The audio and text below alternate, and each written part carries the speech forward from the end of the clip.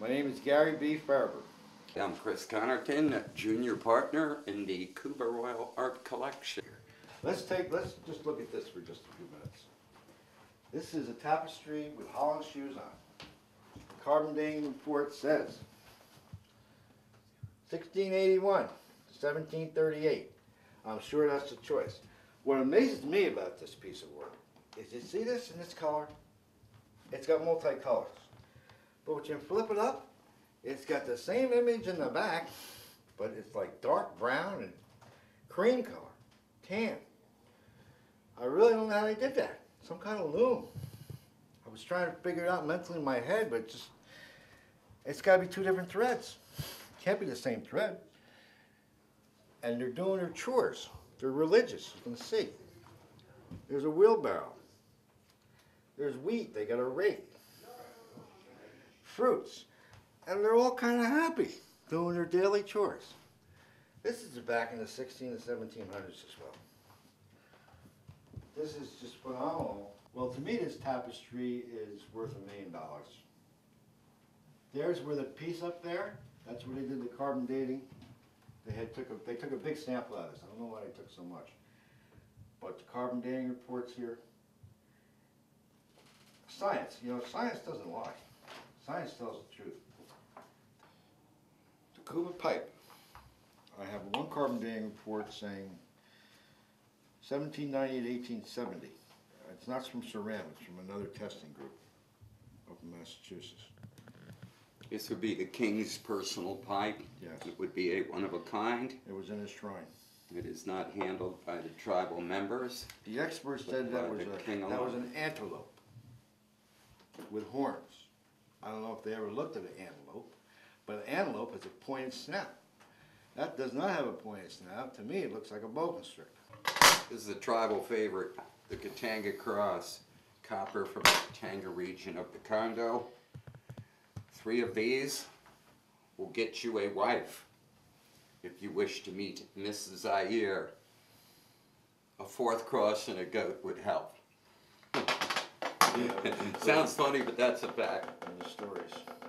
That's the first sign of money ever used in Africa. I believe it dated from 1300s on. They still make them today. I was told they they just make a uh, an artwork cross in the sand and then they just pour the copper in it. But this is, this is in a category by itself. We're talking modern African art, twentieth century African art. Uh, is red hot in the world of, of, of money. Uh, tribal artifacts, things of an age to the sixteen and seventeen hundreds are virtually impossible to find anywhere. You're lucky to find something from the late eighteen hundreds. It would have almost the value of these objects were they two hundred years newer. Person with the right amount of money, it might go for it might go to a million. Or more.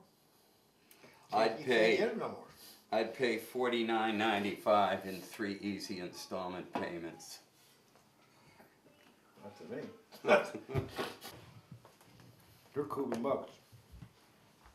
They're in the shrine also.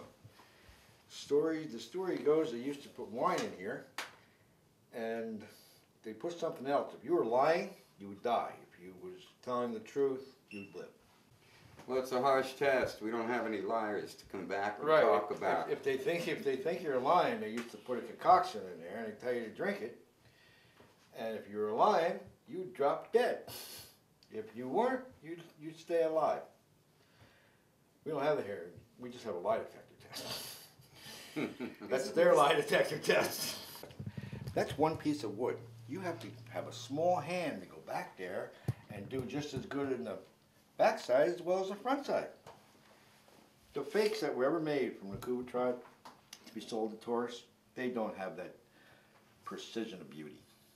And that is the equation of all, really all art. That's why they're in museums, because of the beauty. And they wonder how they did it. What tools do they have to work with? Seashells?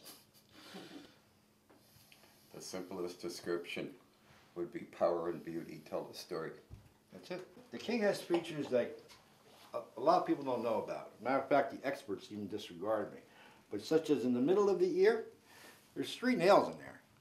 And I read in uh, history books that they put magical substance in there, and then they plugged them up with the nails. And Samuel, he uh, agreed with that, who's from the United Nations.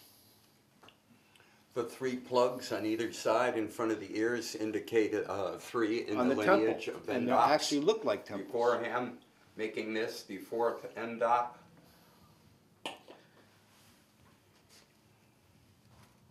Mabichi. Well, I was really astonished it. He told me a story that when they, they chopped a piece of wood, twelve o'clock at night, they climbed up this tree limb, and after they chopped the wood, they came down, and they made a dinner for the king. Now, if they were hunting and they hunted for something, they wouldn't hunt there again. If they fished and they gave the king a fish, they wouldn't fish there again. And if you blow the ear up, this resembles a fish. There's its little mouth. It's eaten like a salmon egg. It even has a gill in there with this artwork. Very detailed.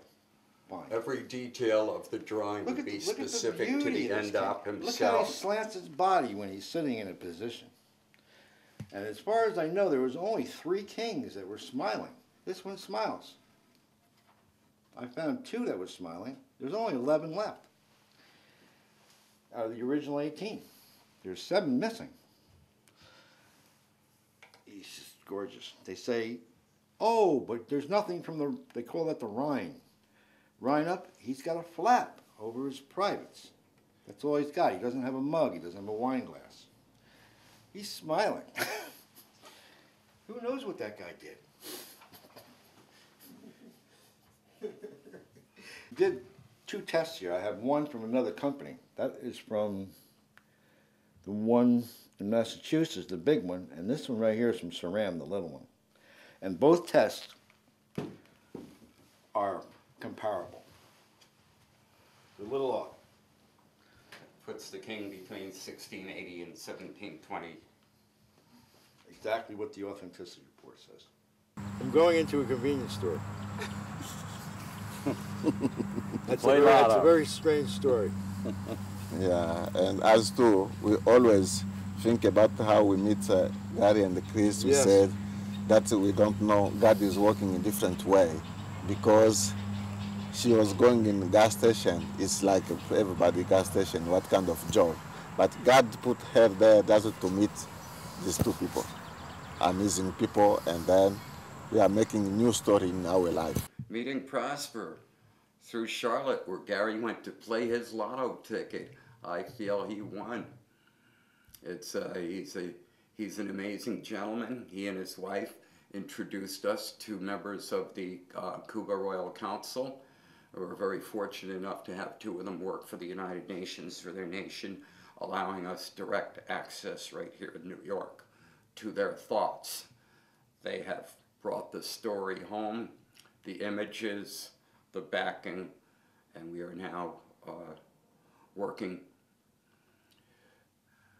uh, working, working with the Congo community. I would say, not toward any specific goal other than for them to be able to tell their story. I came here, I met somebody who told me, you know, American people, you can find the very, very nice one, or you can find the very, very bad one.